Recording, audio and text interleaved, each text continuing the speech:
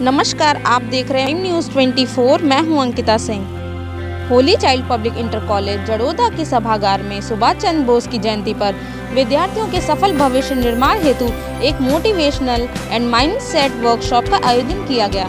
कार्यक्रम का शुभारंभ विद्याधीन माँ सरस्वती के सम्मुख। कार्यक्रम के मुख्य अतिथि गजेंद्र कुमार जिला विद्यालय निरीक्षक मुजफ्फरनगर मुख्य वक्ता श्रीमती त्यागी काउंसलर अनिल शास्त्री, शिक्षाविद कुलदीप शिवाज, रजनीश कुमार पंकज धीमान और प्रधानाचार्य प्रवीण दया ने दीप प्रज्वलित कर एवं महापुरुष सुभाष चंद्र बोस के चरित्र पर माल्यार्पण करके किया गया।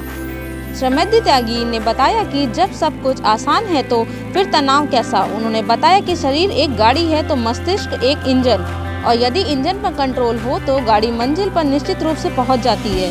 और इसी प्रकार यदि हमारा अपने मस्तिष्क की क्षमताओं को समझकर उस पर कंट्रोल करना आ गया तो सफलता निश्चित रूप से हमारे कदम चूमेगी। अतः हमें अपने मस्तिष्क में उठने वाली विचारधाराओं को सही दिशा निर्देशित करना होगा।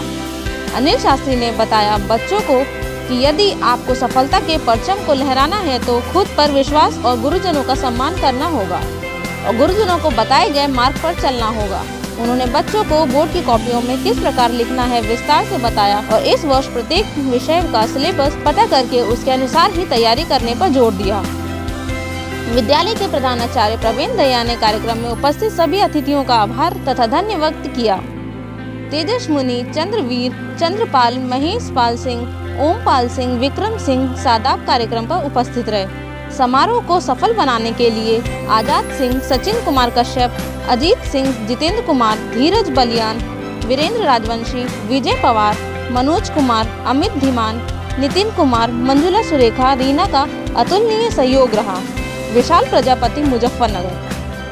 आज का कार्यक्रम जो है ये motivational and mindset workshop for students हैं। जिसमें बच्चों को मोटिवेट करने के लिए बच्चों को पढ़ाई से उनका माइंडसेट कैसे करें हम उनको लगातार सफलता कैसे मिलती रहे तो उन सभी उद्देश्यों को लेकर अभी बोर्ड एग्ज़ाम भी आने वाले हैं।